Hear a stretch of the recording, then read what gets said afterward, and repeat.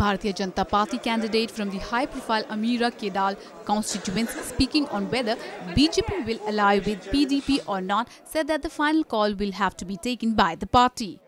Uh, see, I don't have the right. I don't have the right to speak on this that who will, Bharatiya Janata Party will go with.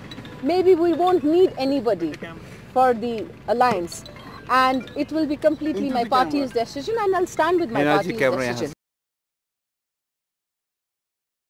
It's a teamwork. Modi ji's vision for Kashmir.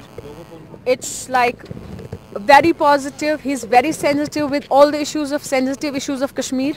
And the people, Bharatiya Janata Party people, workers, Karyakarta, myself as a Karyakarta, we have worked really hard to come up to the expectations of people and we are really working hard so that people of Kashmir get the good governance, anti-corrupt government.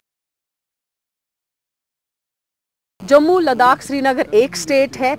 इसको अलग ना ही करें तो बेहतर रहेगा। जम्मू में हम आगे लीड इसलिए कर रहे हैं क्योंकि काफ़ी टाइम से भारतीय जनता पार्टी इलेक्शन लड़ रही है वहाँ पे।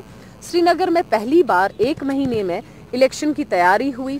फ्लड्स के बाद ही तुरंत इलेक्शन का ऐलान हुआ।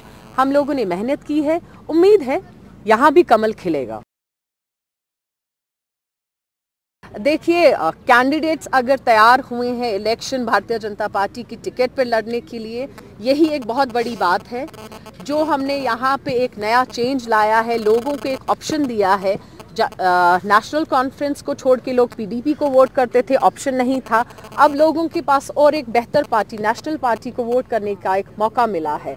और इसी के लिए अगर हम जो देखें, इस तादाद से वोटिंग के लिए लोग निकले हैं चाहे वो बीजेपी के खिलाफ हो या बीजेपी के फेवर में हो तो ये भी एक जीत है एक हिसाब से national conference powered by NNIS.